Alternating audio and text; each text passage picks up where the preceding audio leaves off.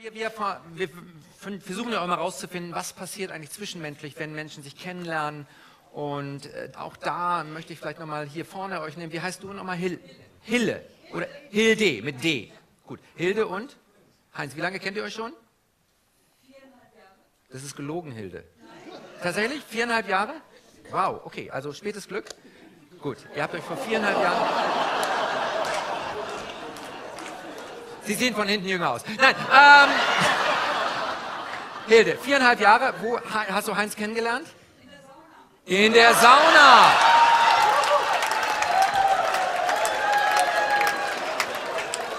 Es geht doch noch. Okay. Hilde, was war dein erster Gedanke, als du Heinz in der Sauna... Wie bitte? Wirklich in Spandau?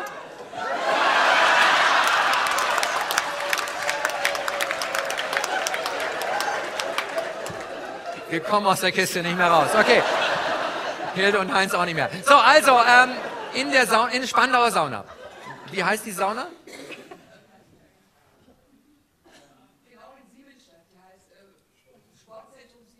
Sportzentrum Siemensstadt. Und wir merken, es klingt schon sinnlich. Gut, also Sportzentrum Siemensstadt. Da ist Hilde in der Sauna. Sieht Heinz Hilde, was war der erste Gedanke, als du Heinz in der Sauna gesehen hast? Ja, schau mal. Heinz, was war dein erster Gedanke, als du Hilde in dieser Sauna in Siemensstadt gesehen hast? Ach, nicht gesehen. Sondern, wie ging es dann weiter? Habt ihr, ihr müsst ja irgendwann Kontakt aufgenommen haben. Angesprochen, in der Sauna. Und was, war das, was waren die ersten Worte, Hilde? Ganz schön heiß hier.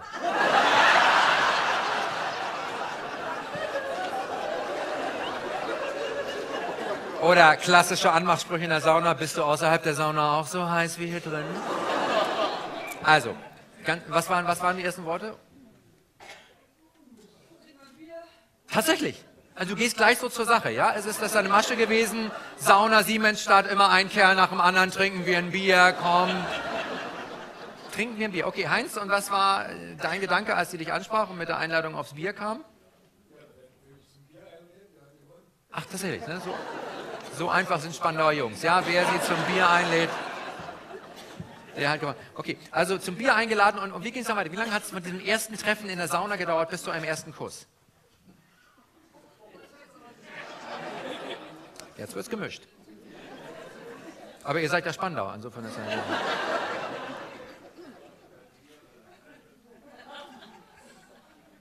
Ungefähr vier Wochen, drei Stunden, zwei Wochen.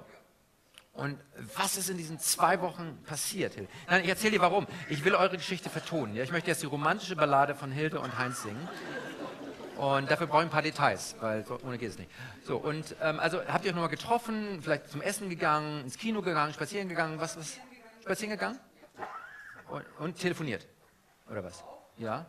Und was noch außer spazieren gegangen? Essen gegangen? Hm? Also waren volle zwei Wochen, kann man schon sagen. Ne? Also Spazieren gehen, essen gehen. Wo wart ihr spazieren? In Sp ja.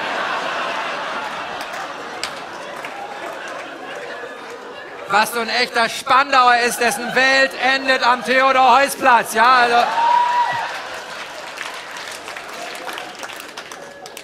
Klimatechnisch sehr vorbildlich. So.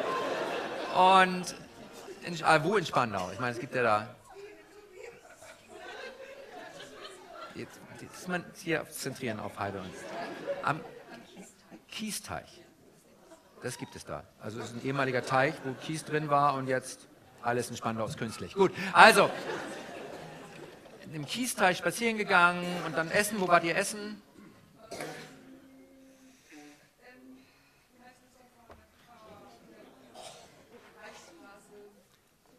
Piccolo Mondo.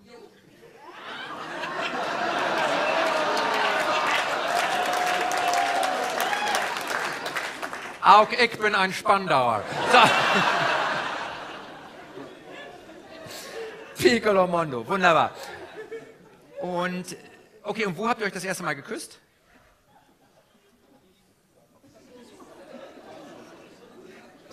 Wirklich? Sagt er also dann doch nochmal zurück zum Kiesteich, in einen Ort, das klingt ein bisschen wie ein Tatort. So, also, dann nochmal an den Kiesteich und am Kiesteich. War es Abend, war es tagsüber, sank die Sonne, war es romantisch oder? Es war romantisch. Die Sonne sank hinterm Spandauer Rathaus. Wie bitte? Sank, versank im Kiesteich. Okay, ein wunderschönes Bild. Gut, also wie gesagt, wir, wir möchten das jetzt vertonen und ähm, dafür brauchen wir natürlich nochmal auf dieser Bühne Herrn Bandorf. Herr Bandorf? Herr Bandorf kommt. So, und wir haben, ja, was denn? Wer sind die beiden? Äh, hier, Hilde, Heinz. Ja, ja, ja. Also eine, eine Oper, wie sie romantisch, ein, ein Werk, eine Ballade, wie sie romantischer letztlich nicht geht. Und ich versuche noch für die Eckpunkte wiederhole ich nochmal. Also es geschieht vor etwa viereinhalb Jahren in einer Sauna, dem Sportzentrum Siemensstadt. Romantischer Ort. Und dort ist es, also Hilde, sind Sie da Stammgast? Sind Sie da häufiger im Sportzentrum? Ja, natürlich. Hilde ist sportlich, geht häufiger ins Sportzentrum. Heinz, waren Sie häufiger da? Nicht ganz so häufig, sieht man. Gut, aber ähm, nein. Heinz ist auch da, äh, knackig, sitzt in der Sauna. Hilde sieht Heinz und denkt, ja, ja, könnte man mal. Heinz sieht Hilde nicht, er hat die Augen geschlossen, er schwitzt wie Sau. Und auf einmal spricht ihn jemand an und sagt, hey, wie wär's mit dem Bier? Heinz öffnet die Augen, er schlägt nie eine Einladung zum Bier aus. Sieht man? Nein. Ähm, äh, also sie, er geht mit ihr zusammen raus, sie trinken gemütlich ein Bier und dann nehmen wir an, Sie tauschen Telefonnummern aus oder wie kam es zum, ja, Telefonnummer, sofort Telefonnummer geholt, Hildes Masche und sie ruft ihn an. Heinz, sind Sie auch wohnhaft in Spandau? Ja, also sie ruft ihn an, die Spandauer kennen sich alle gegenseitig, die haben alle die Nummern und großes Dorf. Und sie ruft ihn an, sagt, Heinz, wie wär's, wollen wir mal spazieren gehen? Haben Sie ihn angerufen oder hat er Sie angerufen? Angerufen, natürlich haben Sie angerufen, Hilde. Ich mag es, wenn Frauen Initiative ergreifen. Also, Hilde hat ihn angerufen und Heinz sagt, ja, spazieren gehen, warum nicht? Und sie sagt, Kiesteich. Und er sagt, Kiesteich, romantisch. Also, das ist wahr. Er kommt hin, sie, sie sind da, sie gehen um den Teich rum. Und Hilde denkt, ich muss noch was Exotisches mit, mit, was ganz, ganz Exotisches mit Heinz machen. Und sie ruft ihn an, Heinz, Piccolo Mondo. Und Piccolo Mondo in der Reichsstraße, romantischer geht's in Spandau nicht.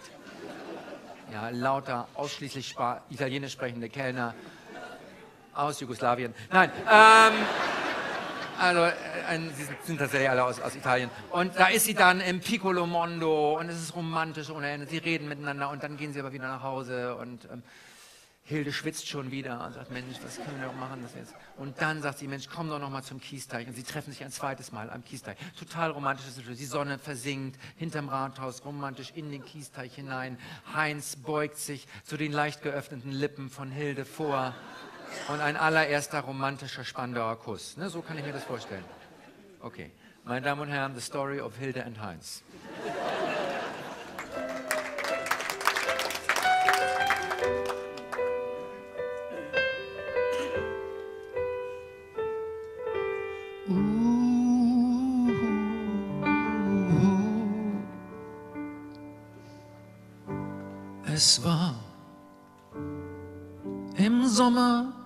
2015, als Hilde zum letzten Mal ein Single war.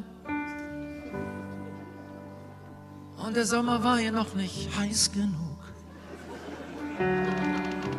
Sie dachte, nein, ich brauch was, wo man nix mehr trug.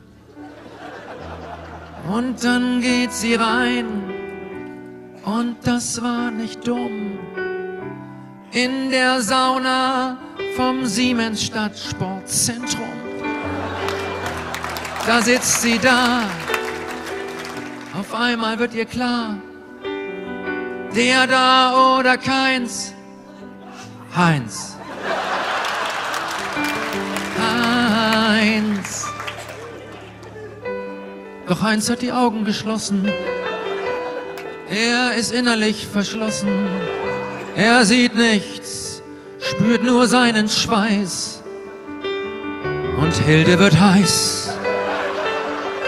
und immer heißer. Und sie sagt, was sage ich jetzt, das nett ist oder nicer? Sie spricht ihn an und sagt, willst du raus hier? Willst ein kühles Bier? Und Heinz sagt zu Bier, sag ich nie mehr oder keins. Er geht raus zum Bier. Sie trinken's hier. Sie kriegt ihn noch nicht rum im Siemensstadt Sportzentrum.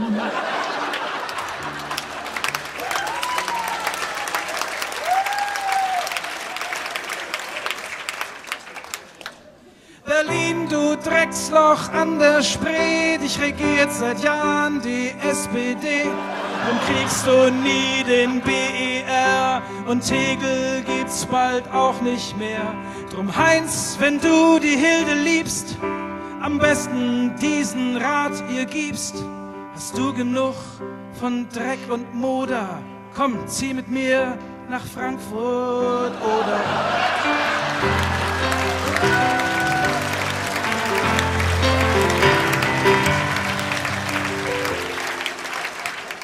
Nachher kommt noch was Versöhnliches.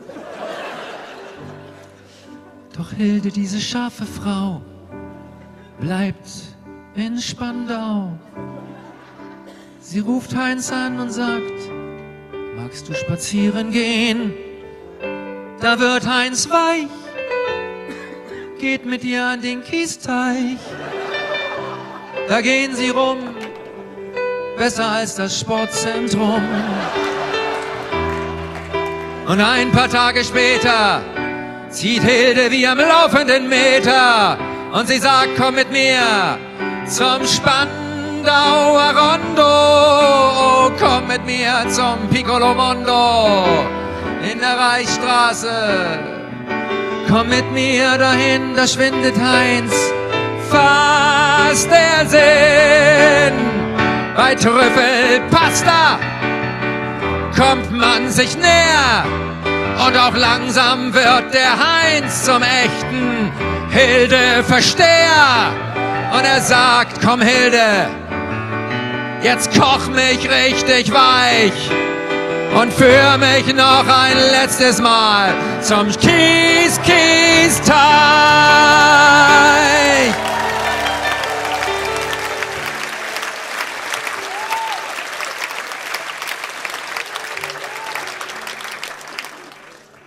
Da sieht man diesen Mann, da sieht man diese Frau im Kiesteich inmitten in Spandau. Die Sonne versinkt hinterm Rathaus. Der ICE ist mal wieder verspätet. Und langsam wird es Nacht. Und da hat der Heinz Hilde umarmt. Da ist der Heinz richtig erwacht. Da springt er über alle Spandauer Klippen und trifft mit seinem Mund mitten auf Hildes Lippen.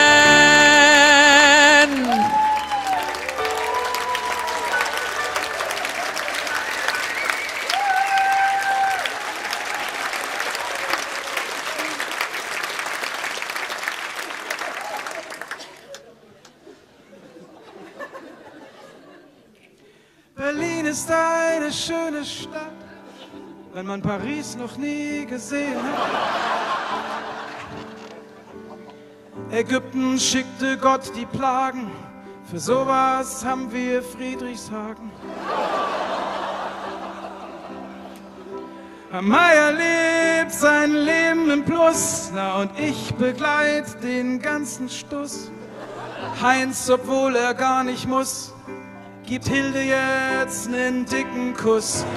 Meier lebt sein Leben im Plus und ich begleit den ganzen Stuss. Und Heinz, obwohl er gar nicht muss, Hilde jetzt nen fetten Kuss.